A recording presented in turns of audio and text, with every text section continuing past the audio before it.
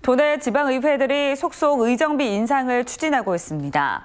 청주시의회는 지난달 1차 의정비 심의위원회를 열고 의정활동비를 150만 원으로 잠정 결정했고 괴산과 진천, 증평군 의회도 의정활동비를 현 110만 원에서 150만 원으로 인상하기로 의견을 모았습니다.